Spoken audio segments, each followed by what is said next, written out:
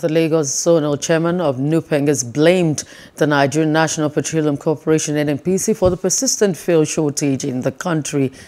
Aboyeji claimed that NNPC has been unable to provide enough fuel for the country. He, however, appealed to the federal government to fix the nation's refineries. As a union, why are you facing this, uh, the price hike? Is it from government?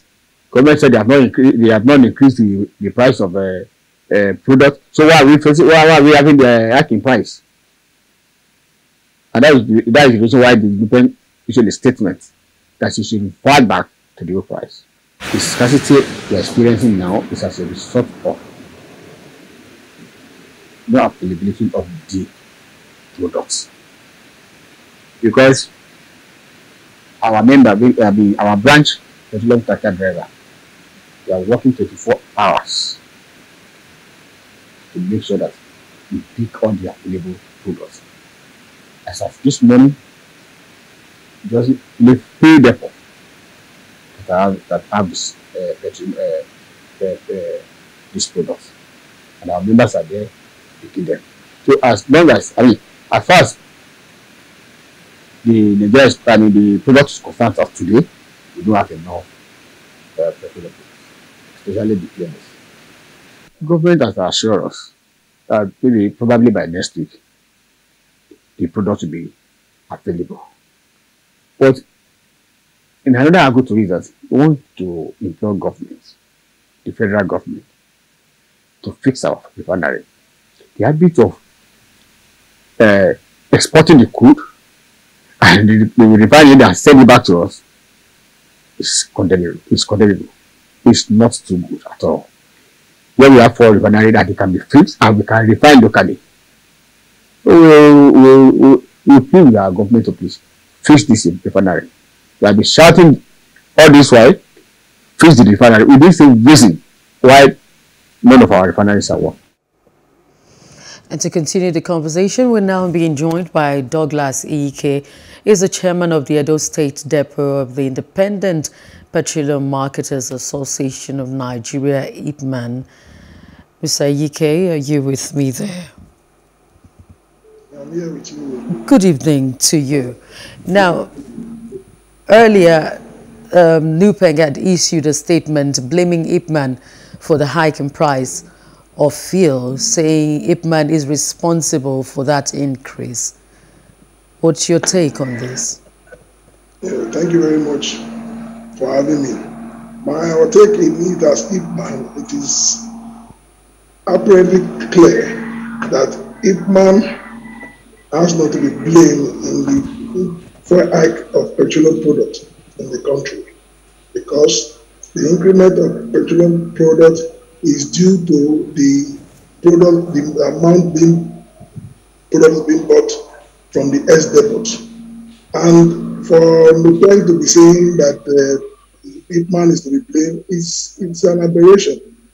For we, if the product in the S depot is, if the price is affordable, we'll buy the way it's supposed to be. Normally, marketers go to S depot to buy products and at the end of the day, they get there and the product they're supposed to buy at 145 is now being uh, bought for like 165.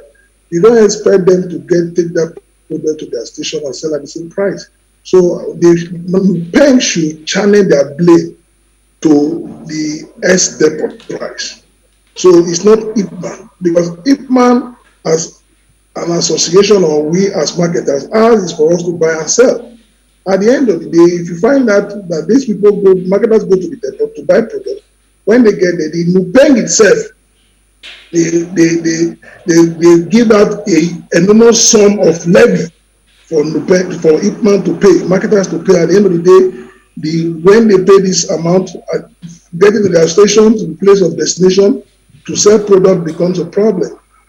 In every truck, the profit you get from it is not up to 300,000. If, for example, Nupeng itself as a union is asking marketers to pay at the loading point 50,000 naira per truck, PTD, petroleum tanker drivers will also come and say they should pay 50,000 naira a truck. These are the same union. The zonal chairman or whoever is the zonal person in that same area, we also ask them to pay some of 20,000 naira. At the end of the day, you see marketers are paying the sum of about 120,000 naira for levying a loan to Nupeng, which is very, very unacceptable. And if man, marketers as an association, we cannot continue in this way. So that is why you find out that if Nupeng is saying that if Ipman is the one causing the hike of petroleum product is strong. And for you to know, NUPENG is not the government agency regulatory body that is to check the price hike of any petroleum product being sold in any petrol station. It is the duty of the government agency regulatory body to check and regulate any marketer selling above pump price. It's not the duty of NUPENG. NUPENG should channel their issues to the uh, uh, S depot where this product is being bought. And besides, Nupeng has many issues which they have to conduct themselves, especially their members, who in this country is causing us a lot of issues in the oil industry. Without Nupeng, some of this crude oil theft cannot be channeled from one place to another. Look at, in, for example, in my area where we the depot is in Benin Depot here in NNPC area, some group of persons, members of Nupen, they were apprehended by NSCDC in a place where they were refining local products. So these are some of the issue challenges we are having as marketers. It is our time the federal government starts going into the activities of Nupen to checkmate them. I want to believe that these issues have been on ground even before now that the country is going through this fuel scarcity. These issues have been on ground and we've been getting fuel at the exact approved pump price of 165 naira. What has changed?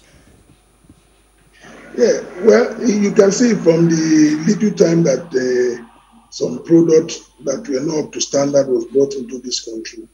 That has been that vacuum has, has created a lot of uh, you know uh, fear into the mind of the, the, the, people.